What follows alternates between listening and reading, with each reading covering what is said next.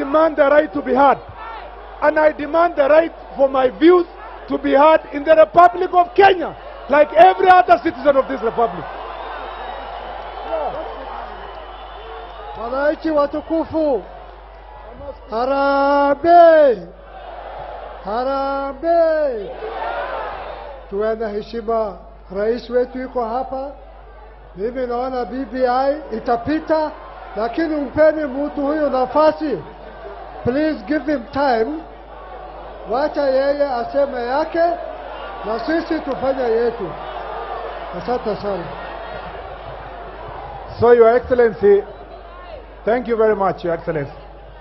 I think it's in maximum respect of the nation we want to build that, Your Excellency, we came here from all shades of political opinion. And that, Your Excellency, I want to appreciate the leadership you provided in this process.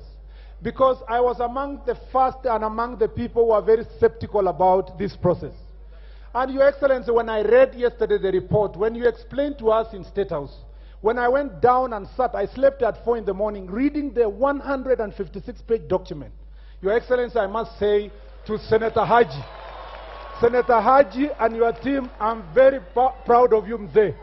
Because, contrary to the skeptical positions we had, we are beginning to have a conversation on how to sanitize our politics. Your Excellency starts by what Governor Joe said, being able to listen to every view, being able to give opportunity, even that Rendille, Your Excellency, who may never be the President of Kenya or may never be the Prime Minister, should have an opportunity to have a message to speak to the nation. Number two, Your Excellency, being the majority leader in the Senate, we in the Senate will stand for strengthening of devolution and sending resources to the grassroots. We, Your Excellency, will stand for ensuring that the devolution and centers of business are taken to grassroots so that young people at the local level get an opportunity to do business. Your Excellency, we will prioritize not the positions for the big boys, but for the opportunities for the young people, for the tea farmer, for the coffee farmer, Mr. Your Excellency, for every citizen of this republic to have an opportunity.